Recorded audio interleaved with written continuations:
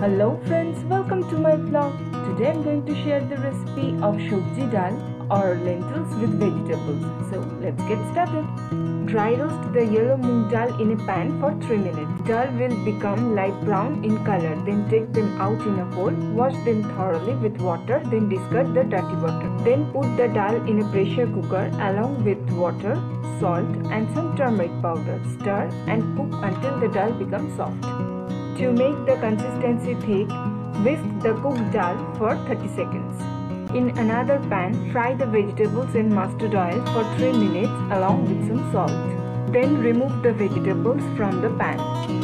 For the tarka, add more mustard oil in the same pan.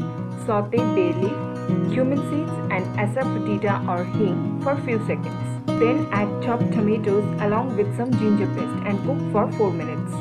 Time to add turmeric powder, red chili powder, roasted cumin and coriander powder. After mixing them, add little water and cook for 2 minutes. For seasoning, add salt and sugar.